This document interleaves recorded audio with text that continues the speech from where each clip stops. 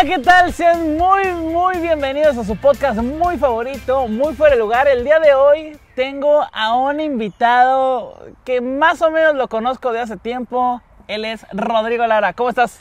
¿Qué pasa, mi querido Gau? Qué gusto tenerte por acá en, en- en Inglaterra, ¿eh? Estoy en el jardín en donde me hizo el favor Rodrigo de invitarme a su humilde morada. Que de verdad, qué lindo está acá, ¿eh? Sí, muy bonito. O sea, eh, pero aparte me dices que esto no es normal, o sea, no es como, como algo que todo mundo pueda tener, ¿no? O sea, un jardín como bonito y todo. Tan grande, por decirlo así. Nosotros vivimos, tienes tu casa, la gente tiene su casa aquí en, en el norte de Londres. Eh, vivimos en un departamento de dos habitaciones, un baño, bonito, pero tenemos un jardín muy grande, entonces eso no es muy, muy común. Es, es como, como una de esas suertes que tuviste estando acá, encontrar esto. Aparte ya tienes un, niño acá, pero bueno, ahorita vamos a platicar de eso. El día de hoy lo que quiero platicar, porque a ver, van a ser dos podcasts. Uno más como del trabajo que estás haciendo acá y otro más de, de, de, pues el sueño, no sueño que tuviste o tuvimos incluso y que de alguna manera no se logró, pero terminó siendo otra cosa, ¿no? En este caso será más como de eso, ¿no? Más, más personal, más de Rodrigo Vamos. como persona. Tú eh, jugabas fútbol en básicas de Pumas, ¿cierto? Así es, estuve nueve años en las fuerzas básicas de los Pumas, llegué a los 10 años a la cantera, a la cantera de Pumas, donde la verdad viví los mejores años de mi vida. Fue una formación futbolística, mental. ¿De qué jugabas? Jugaba de defensa central. Ok. Entonces, para no hacerte el cuento largo, yo empecé a, empecé a jugar fútbol en el Instituto México, donde fuimos también compañeros de, de- no de pupitre, pero fuimos este, compañeros ahí de- en la escuela primaria. Ahí empecé a jugar en la selección de la escuela y luego a los 10 años, un entrenador, Mauricio Pedrosa, que es conocido en el medio, de, en el medio del fútbol, Muy conocido. No el de ESPN, sino Mauricio Pedrosa, entrenador de, de- de categorías juveniles de fútbol. Él me invita a, a hacerme una prueba en Pumas, a hacerme una prueba en cantera con 500 niños. ¿Fue, Al- fue el mismo final- que invitó a- Efraín Juárez? El mismo ¿Y a Chucky Lozano o no? No al Chucky Lozano, no sé si el Chucky Lozano porque él es mucho más eh, chico que nosotros, pero él lleva a Efraín Juárez a la cantera de Pumas, a Fernando Navarro, este, a Toño García, eh, que, que debutó Nava- también ¿Navarro en estaba en, en el México? No. No, Navarro no estaba en el México, pero él lo trajo de otra escuela de fútbol que se llama FEMAC. ¿A poco usted en FEMAC? Entonces, entonces Ferry Navarro estuvo en FEMAC, su papá es socio de FEMAC ¿A poco? y socio de Mauricio. O sea, el, nom- el nombre de FEMAC es Fernando Mauricio Carla, que son los eh, pioneros, los propietarios de FEMAC. Entonces, Es en esos esa, años, ¿no? en es, es muy buena escuela, en esos años, pues Mao me invita a probarme en una prueba de, de 500 niños Ajá. de categoría 90 y al final nos quedamos 21, 22 y tuve la fortuna de, de que me seleccionara. Entonces ahí hice toda mi, mi escuela, mi preparación como futbolista, ya estando en la pirámide para soñar con la primera división. Yo cuando tenía ya 10, 11 años, yo ya entrenaba y ya me visualizaba que algún día iba a debutar en primera división. No se me dio por diferentes cuestiones de, la vida. A eso, a eso vamos, ¿no? A eso vamos que, que, que yo me acuerdo que cuando te conocí, güey, estabas todavía jugando fútbol y yo me acuerdo que recién nos e- empezábamos a agregar, ¿qué era, güey? ¿Era High Five? No. Quizás. Facebook. No, No, mames, o sí. sea, de que no mames, ¿no? Y vi unas fotos que tú estabas con la playera de la selección. O sea, jugaste en la selección. Tuve la fortuna ¿Sub también de, de ser seleccionado juvenil en la sub 15 y en la sub 17. A los 14, 15, 16 y 17 años estuve en las selecciones juveniles ¿Con quién? de México. Eh, a ver, ¿alguien llegó? ¿Alguien llegó? Sí, claro, ¿Quién? muchísimos, muchísimos. Por decirte nombres, por ejemplo, el Gulit Peña. ¿A poco? Yo compar- Él jugaba en Pachuca, pero era mi compañero en la Ah, selección. pues con razón se iban de fiesta en, ustedes en dos, los, ¿va? en los Pumas, este, el Pollo Saldívar, Ah, que fue portero de muchísimos años. O- El Pollo lleva, llega a los 12 años a cantera, es el único que debuta. Raúl Servín también debuta, su papá fue mundialista en el Mundial de México 86. Eh, por mencionarte otros, Carlos Gutiérrez Armas. eh, ¿Y el- de otra- y de el otras- y el de otras sí era desmadroso en ese- en ese- Sí, claro. Era, O sea, era- así de que se salía de la... ¿O no? Sí, sí, sí. sí. No, no lo voy a balconear. No, güey, ya, ya. Se saben muchísimas historias de él, entonces no viene de boca mía porque ya se han enterado muchísimas personas, pero sí le gustaba la fiesta. Era un crack, ¿eh?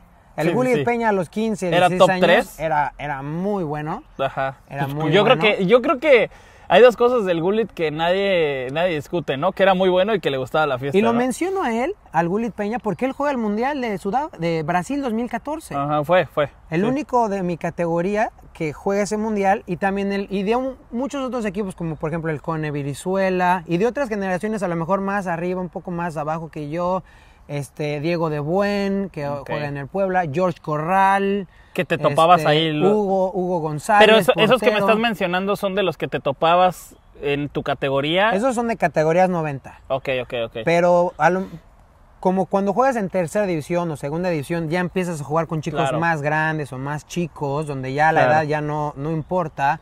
Eduardo el, el Grande Herrera, David Cabrera en los Pumas, este Cabrera.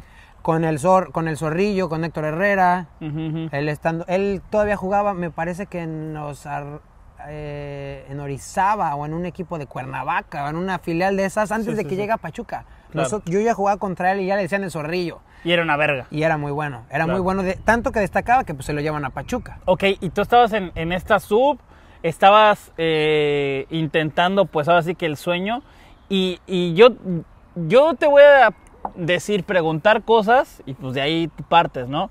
Después me acuerdo, güey, que, o sea, tú eras un tipo que jugabas bien y siempre has tenido como una mentalidad como, pues, ganadora, como de, de estar siempre ahí, pues eras capitán, güey, y Sí. luego también te ponían de capitán ahí en la sub, y, y de pronto empiezas a subir de categoría y ya estabas como en la segunda entrenando con la primera de Pumas, ¿cierto? Así es, así es, así es. Llega un, llega un momento en que llegas a, a segunda división y te empiezas a mezclar con los, con los chavos que están entrenando en el primer equipo. Algunos bajan, algunos no, no tienen la oportunidad de tener minutos en primera división, ni siquiera estar en la banca. Entonces estos chicos bajan a, la- a los partidos de segunda división. Entonces cuando yo tenía mi partido de segunda división, a veces no jugaba. Claro. Entonces ahí se empieza a complicar un poco la cosa.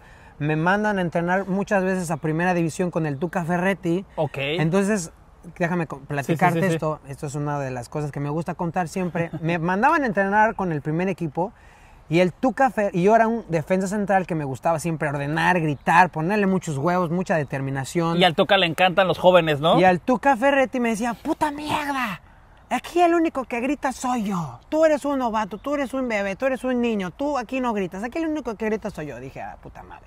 O sea, Ajá. uno que viene a, a mostrarse, a, a mostrar su carácter, no su Claro. personalidad, mi fútbol, porque yo no era muy ¿Y qué le dijiste? ¿Le gritaste a la verga? No, me, me valió madres. Sí. Me valió madres y seguí gritando, seguí metiendo la pierna. En, ese, en esos entonces eh, estaba Dante López, eh, eh, Zambuesa, Paco. Palencia. Entonces, cuando nos metían en los interescuadras, pues yo me les barría, me les metía con todo. Y el Tuca Frete, puta madre, te dije. Me los vas a lesionar. Me los vas a lesionar. Ve, y me sacaba a correr. Me mandaba, me sacaba de las interescuadras y me mandaba a correr. Y decía, puta madre. Entonces esas cosas me frustraban muchísimo. Ajá, ajá. Porque yo tenía 18 años y quieres estar ahí, ¿no? Quieres estar Claro, claro. ya en primera edición. Yo tenía a mis compañeros de selección en otros equipos que ya estaban empezando a debutar. Te empezaste a desesperar, ¿no? Me empecé a desesperar, mi papá me empezó ahí también a, a decir cosas y que no, no me gustaban. Entonces ahí se parte un poco mi historia de esos nueve años que estuve en la cantera de Pumas. Que ibas pa. Que pa, iba ahí, sí, pa, que tenía una... Además que tenía una cierta jerarquía en la cantera, ¿no? De esos Claro. que... Tenía nueve años en esa escuela, imagínate. Claro. Rodrigo Todo- Lara, güey, Rodrigo ¿no? Lara era seleccionado juvenil, era un prospecto. Yo hablaba con Memo Vázquez, que era el director de Fuerzas Básicas en ese entonces, y él me decía, no, calma, tranquilo, vas a tener tu oportunidad, ten paciencia. Y mi papá me decía, no, puta, es que ya, ya, ya tienes que estar. O sea, yo tenía 18 años, yo estaba muy inmaduro. Claro, claro. Yo ahora me transporto y veo eso y digo, estaba muy inmaduro. Yo me Este, acuerdo, yo me acuerdo, güey, que íbamos a tu casa y de hecho pues, ahí gra- grabábamos lo de los niños del campo y pura mamada que grabábamos en tu casa con sus instrumentos, también tenías un jardincillo y todo. y me acuerdo que decía, no, es que no mames, ya estoy bien grande. Y yo ya en ese momento yo ya había renunciado al fútbol, ¿no? Ya estoy bien grande, güey, ya este, pues ya estoy desesperado. Luego, no mames, güey, o sea, estás como casi entrenando con la primera división y tienes 18, 19 años, güey, ¿no? O sea, ¿cómo vas a estar? O sea, claro, güey, a lo mejor para poder venirte ya a Europa y ni así estabas grande, güey. Pues es que es la presión que se empieza a vivir en el ambiente, no la presión que se empieza a vivir en- con los entrenadores que te dicen, si no debutas a los 18, 19, 20, 21 Ya. años, ya estás grande, ya se te Claro. va a pasar el tren. Entonces nosotros como chavos de 18, 19 años, pues nos la empezamos a creer. Claro. Y no vemos que hay otros equipos, y no vemos que hay otras oportunidades, y no vemos que hay otras posibilidades. Ciudades, países, güey. Otros países, exactamente. Entonces, pues ahí mi papá me, me- me presionaba que me fuera a buscar otro equipo, que la chingada, que no sé qué. Y, este, y pues terminé peleándome con la gente de Pumas Ok. para que me dieran mis papeles, para yo buscar otra oportunidad en otro equipo. Y, y yo pensaba, a ver, vengo de Pumas, soy seleccionado nacional juvenil, este, tengo la escuela de cantera. Si llego a otro equipo, Ah, va a ser más fácil. Claro. ser más- Y no fue así. Ajá. No ¿A dónde así. llegaste después de eso? Después de ahí me, la vi, me las viví muy difíciles porque mi siguiente paso fue llegar al Puebla. Ujú. Llegué al Puebla y dije, no, vengo de Pumas, voy a llegar al Puebla, voy a llegar a entrenar con el primer equipo, voy a ser parte del plantel, voy a debutar. No fue así. Me consiguen, la, me consiguen una prueba Claro. en, el- en la primera división del Puebla. Entonces llego ahí con el Chelis, nos ponen a entrenar, hacemos interescuadras. Un día, nos pon- un día que estuve entrenando con ellos, me pon- nos ponen a hacer un interescuadras. Y yo era defensa central, imagínate. Yo era guerrero, yo era aguerrido, era de huevos, era de poco técnico, pero mucho corazón. Ajá. Y me ponen a jugar de carrilero por izquierda. Ajá. Es como si tú pones a Carles Puyol Sí, sí, o a sí. Canavaro a jugar de, ca- de carrilero por izquierda, o a Rafa Márquez, ¿no? Ajá. ajá. Entonces nos ponen en ese interescuadras a jugar, me ponen a mí de carrilero por izquierda y me grita el chaliz, controla la pelota, descarga, eh, este, avanza, Encara, burla, encara, métete, dribla. Y ese no era mi fútbol. Claro. A mí me la pasaban Y tú veías, la ¿no? pasaba. Sí, claro, claro. y la pasaba, trataba de jugar fácil. Y no te pasaban, que eso era como tu fuerte, ¿no? Bueno, sí. Entonces, al final de ese interescuadras me dice, me manda a decir el auxiliar de, del Chelis en ese entonces, un argentino que se llama Walter Fleitas, me dice, oye, pues el Chelis dice que ya no vengas mañana, que muchas gracias. Y así, ¡pum! En un día me cepillaron. Ajá, ajá. Me cepillaron. Sí, y sí, y sí. yo dije, le dije al Walter Fleitas, oye, pues es que no jugué en mi posición. No estoy jugando de mi posición. O sea, dejen que me vean jugar en mi posición. Esta no, es mi- no, no, no, ya la decisión ya la tomamos, ya hasta aquí, ya si yo voy con el Chile me va a meter una cagada, ya, muchas gracias. Y así, entonces imagínate, después de nueve años, en un día me, me, me cepillan. Claro, en claro, un equipo claro. como el Puebla, güey. Sí, que tú venías de Pumas, entonces te, te, te, te fuiste como yendo a la chingada de la cabeza, ¿no? Supongo. Así, entonces, puta, fue un desmadre. Ajá. Fue un desmadre, me quedo sin equipo, me quedo sin equipo, yo nada más eh, corría y entrenaba en el parque de mi casa para Claro. mantener más o menos en forma, entonces no tenía equipo. Entonces una vez voy a ir a Puato, Ajá. porque ahí tengo un tío, vamos a ver a mi tío, y paso por el estadio, Sergio León Chávez, el estadio de la Trinca de- del Irapuato, y dijo, "Mm", estaban en la Liga de Ascenso en ese Ujú. entonces, digo, "Mm, a lo mejor aquí puedo venir y tocar la puerta, y, y así, Claro. fui a la, a la puerta del estadio, hablé con el policía, me metí a ver, ¿Neta? sí, me metí a ver quién era el entrenador de la segunda y de la primera A, era Batocleti, y de la segunda era otra persona. No mames, güey. Y le dije, quiero venir a hablar con Batocleti. Pues yo jugué aquí, jugué- al policía del estadio, ¿eh? Y el, y el poli era el, el auxiliar técnico. No, el- no, sí, muy chistoso. Entonces me dijeron, no, el poli me dijo, mira, están allá en, en enfrente, en el hotel. Está el estadio y hay un hotel donde se concentra el equipo. Entonces ahí voy, me voy, a, me meto al hotel. El poli buena onda me dijo, ahí está el equipo, ahí está el entrenador. Qué chingón. Entonces voy y me Y voy qué metiche. Y me siento me- y busco a Batoclete y le digo, mire, profe, eh, yo he jugado aquí en Pumas, que no sé qué, me gustaría probarme. Me dice, ah, sí, muy, muy, ve, ve al estadio enfrente a hablar con Sergio Almaguer, es el director deportivo del, del equipo, del Irapuato. Y dije, oh, Sergio Almaguer, no mames. O sea, ese güey Sí, jugó sí. En, en Turquía, en el Necaxa. Ajá, ajá. Entonces dije, ok, va. Entonces voy y le digo al poli, vengo a hablar con Sergio Almaguer. ¿Cómo se te llamas? Rodrigo Lara. Ah, ok. Me, ab- me abrieron las puertas así. Yo creo que Sergio Almaguer pensaba que... estaba- Rodrigo Lara. Raúl Rodrigo Lara, el de la América del Sí, sí, sí. 98, ¿no? Entonces llego, me siento a su oficina, me saluda Sergio Almaguer, muy bien. Y este... Y le digo, hola Sergio, mira, he jugado aquí, he jugado acá, me gustaría probarme aquí con el equipo. Y me dice, ok, muy bien, ven el lunes a probarte con la segunda. Entonces empiezo a entrenar, esto es en marzo del 2010. A la O madre. sea, pasó- Sí, sí, sí. dejé de jugar como seis meses y medio, seis meses, un poquito más.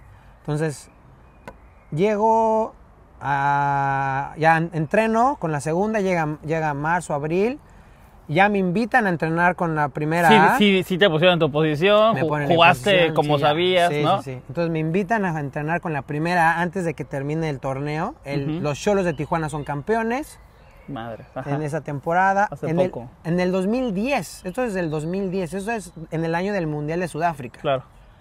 Entonces llega el verano y me dice Sergio Almaguer, mira, regresa, vienes a hacer pretemporada, te vamos a registrar, te vamos a, este, estás dentro de los planes del equipo. Yo dije, poca madre, chingón. Entonces en ese verano el Irapuato, en la Liga de Ascenso, contrata a Adrián Martínez, que había tenido 20 años en la primera división de Santos, al Parejita López, que ya estuvo en este podcast. ¿Jugaste con parejita? El Parejita López llega a ese equipo, es, mi, No es- sabía. es buen amigo el pareja.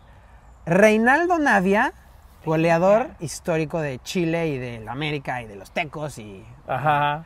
Pinche trabuco, güey. Reinaldo Navia llega a ese, ese plantel. ¿Era primera, Toby? O sea, Era era la primera sí, sí. en la Liga de Ascenso. Sí.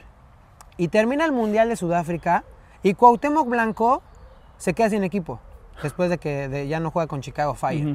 Entonces había muchos rumores de dónde iba a jugar, Ajá. donde iba a jugar Cuauhtémoc Blanco, termina el Mundial de Sudáfrica y la trinca Fresera del Irapuato anuncia el fichaje de Cuauhtémoc Blanco. Te En cagaste. la Liga de Ascenso y dije, no mames, no mames. Era un pinche equipazo esa madre, Eh, güey. eh, sí, pues era un equipazo que lo armaron para ascender, ¿no? Falta el Lorito Jiménez y ya. No, y había otros jugadores como Ajá. Ariel González, este Margarito... eh, no me mames, pura talachota, güey. Entonces arman ese equipo, entonces llega Cuauhtémoc Blanco, tengo la oportunidad de hacer pretemporada con él. ¿Y qué tal, güey? ¿Qué tal, qué tal, qué tal, este, No, pues, hay estar ahí? muchísimas historias. Con Cuau, muy, muy padre, muy bonita. Un día vamos a hacer unos partidos amistosos en, en San Diego Ajá. y el Cuau pagó la cena de todos en efectivo, güey. No mames. Saca el efectivo y una cuenta y una mesa de menos 30 personas en la mesa y el güey, órale, ching, órale chingones, atásquense, pidan lo que quieran. te, te juro que así tal cual lo dijo el. Cuau. Bueno, muy buen, muy buena onda, Ah, tipazo. pues, a- pues, a- ahorita yo creo que también puede Pero pagar déjame- varias cenas. Te voy a contar el- los momentos trágicos de mi vida como futbolista que llegan en, esos, en esas semanas. Ok, a ver. Jornada 1 de la Liga de Ascenso, Irapuato, jugábamos contra los Dorados de Sinaloa en el Sergio León Chávez. Jornada 1. Partidazo. Jornada 1. Mi familia, mis papás, mi mamá, mis tíos estaban en la tribuna. Una hora antes del partido, el eh, Escatularo, el entrenador, da la alineación. Adrián Martínez, Rodrigo Lara, de marcador por derecha. El pareja, Cuauhtémoc Blanco. Una hora antes del partido. Iba a ser titular. Iba a ser titular. Iba Ya- a ya- debutar. jugabas en, en la semana de, con el equipo Sí, titular. ya, ya estaba encarrilado para ser titular ese partido. Y llega uno de los directivos del equipo con todos los registros, con los carnés de cada jugador, y diciendo, traigo todos los registros, pero no traigo uno. No traigo el de Rodrigo, porque en la federación le saltó, en la Federación Mexicana de Fútbol le saltó diciendo que yo todavía pertenecía a los Pumas. No mames. Año y medio parecía mi nombre que yo todavía seguía siendo jugador de Pumas. Entonces en la federación no les pudieron dar mi, Tu carnet. mi carnet y puta madre. Tú cagado en el vestidor. Yo, yo sí, yo ya tenía las espinilleras y mis zapatos amarrados listos para salir a jugar. No mames. Y ya me tengo que volver a cambiar, güey. Verga. O y no, y cambiar e ir a México. Sí, eso fue semanas después. Ir, subirme a la tribuna ver el partido.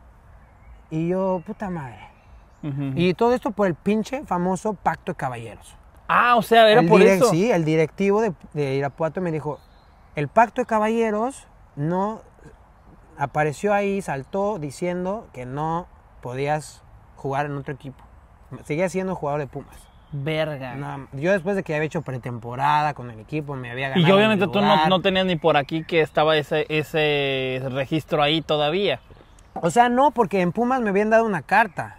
Pero era una carta que era como un récord donde yo decía que, que hablaba que yo había jugado en Pumas, había hecho torneos internacionales y que había estado tantos años. Era como un currículum. Y dije, puta madre, no mames.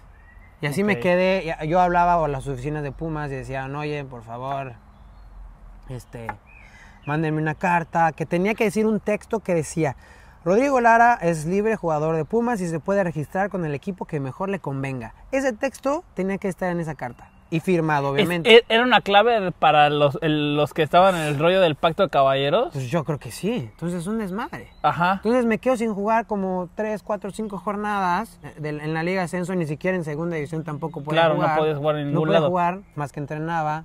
Después de que Irapuato ya me había dado un contrato, ya me iban No a pagar y fue un desma- Entonces mentalmente a mí yo estaba, yo ya tenía 20 años, yo estaba muy, muy mal. Sí, sí, sí.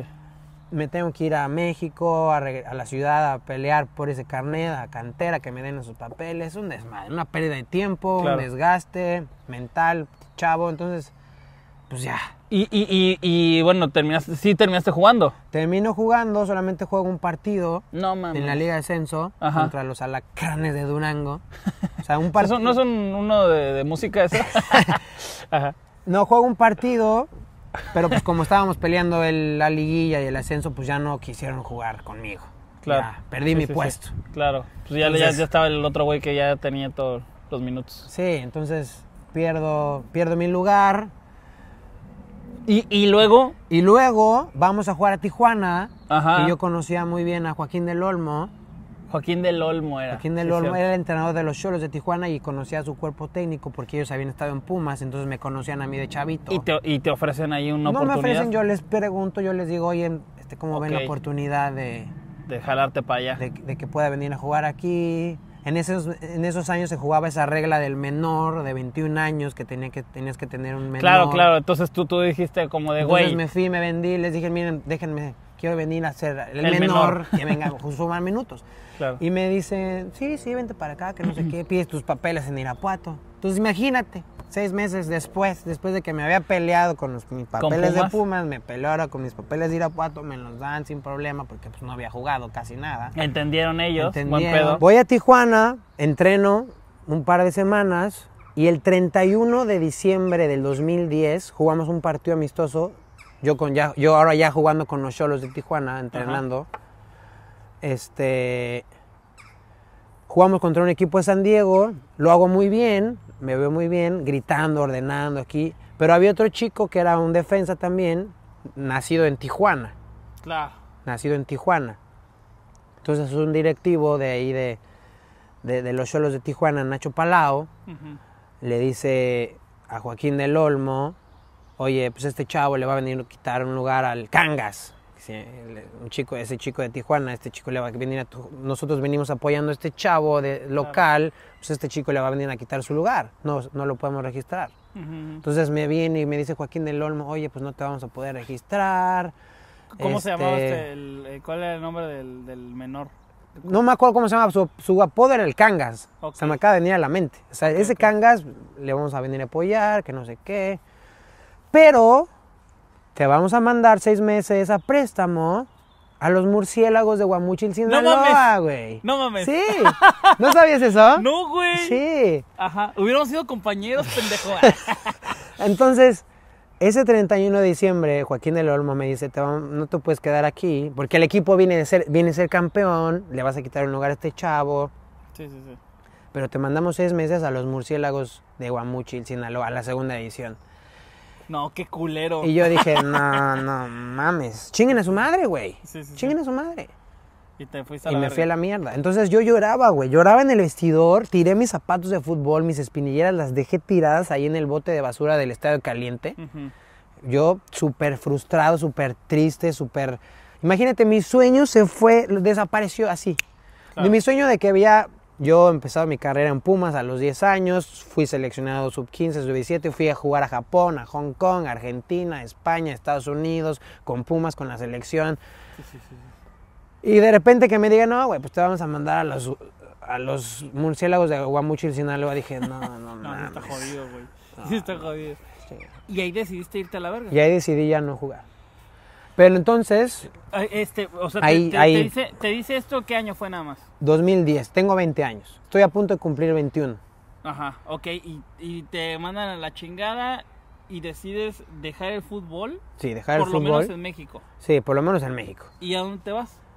Entonces ahí yo estaba muy triste, estaba deprimido, no sabía qué hacer con mi vida. Imagínate, ven- tenía 20 años y mi sueño de ser jugador Pues, ya Qué había bueno, desaparecido. Qué bueno, estás de acuerdo que también estabas morro. Sí, Claro, lo- volvemos a lo mismo. Para estar jugando en, en Holanda, pues sí, ya estás grande, güey. Pero, güey, es México, cabrón, ¿no? Hay muchas posibilidades, pero en tu mente, en ese momento, ya lo habías visto esfumado. ¿no? sí, ya no quería jugar fútbol, estaba asqueado de la política, de la basura, De de, que aunque fueras bueno, no del- de podías eso estar. del pacto de caballeros y de que tienes que conocer gente y que la chingada y no, me, me asqué muchísimo. Entonces yo estaba muy triste, estaba muy deprimido. Mi mamá vivía en San Miguel de Allende, mi papá en la Ciudad de México y no sabía qué hacer.